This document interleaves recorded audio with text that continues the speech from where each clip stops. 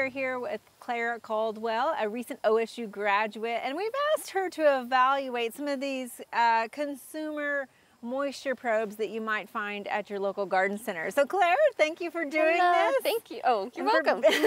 Thanks for being on the show with us. Tell us what you kind of found with all of these. so all of them kind of operate similarly in which you'll stick them down in the soil, um, wait about five minutes and then collect your reading. But each meter kind of differs on the instructions. So the user will ha- have to refer to the packaging and be sure how long they're putting them in the soil to get, before getting their reading, um, if they need to calibrate it beforehand, things like that. Okay, so let's talk about the ones that you maybe liked and the ones that were a little more complicated. Um, so I kind of have them in ranking here.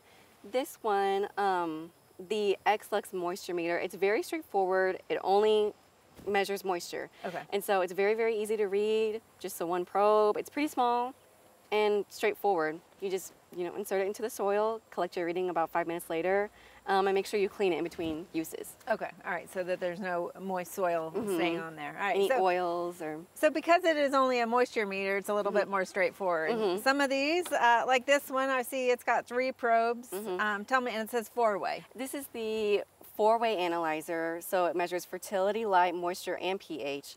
So one thing with this that I've learned is make sure it's on the correct setting because I was measuring pH for a while and wondering why the needle was being a little weird. Okay. But it still is pretty easy to read. It's still user-friendly, just as long as you have it on the right setting. And I like this one because it's compact and small.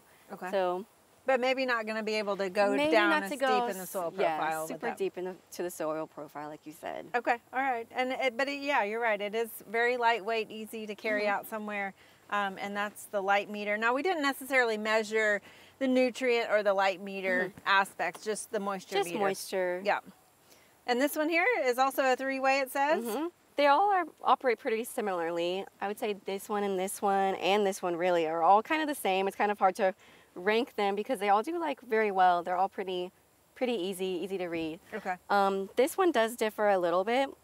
Um, so you, this one is the first one out of all these that you actually have to calibrate yourself. So as long as you have um, a screwdriver small enough to fit inside, you can turn this screw to make sure the needle is at a five or an ideal moisture that you need for your plant. So as long as you know what your ideal moisture is, calibrate it to that setting, and then you're ready to use it. Okay. And right. it's also very easy to read, and it only measures moisture as well. Okay. And with a longer probe, you can go deeper, probably the more out, outside. Outdoor use. Yeah. Mhm. Okay. And the next couple. So this one is a little bit more tricky. I wasn't the biggest fan of this one. You have to insert it into the soil multiple different times to kind of get an average reading. Take it out, clean it, and then you have to use this um, needle. I want you to press on this. It was a little bit more confusing, a little more tricky, so I was kind of like, oh, that's not my favorite. And you have to leave it in the soil a lot longer. Okay. a lot of them recommend you don't leave it in longer than 10 minutes, but this one was kind of right at 10 minutes. Okay. Um, and then this one, I wanted to like, because it kind of just goes along with these ones. It's easy. They all kind of look the same. But we found this one was kind of a dud. Not really measuring um, accurately. So Okay, all Mm-hmm. right. So at least all of these kind of give us a little bit more of an accurate Yes. reading.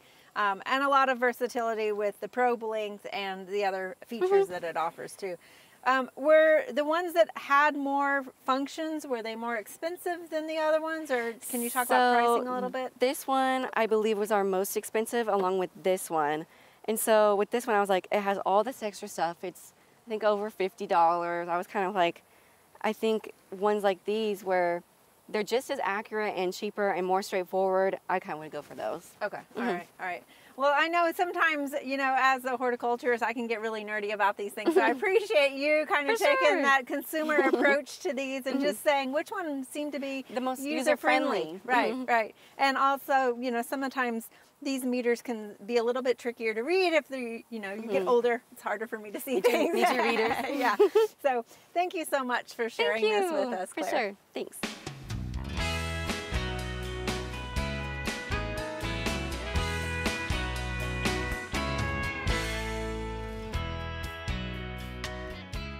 We hope you enjoyed this video as part of our Oklahoma Gardening YouTube channel.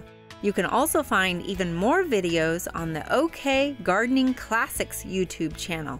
and join us on social media for great gardening tips, photos, and discussion.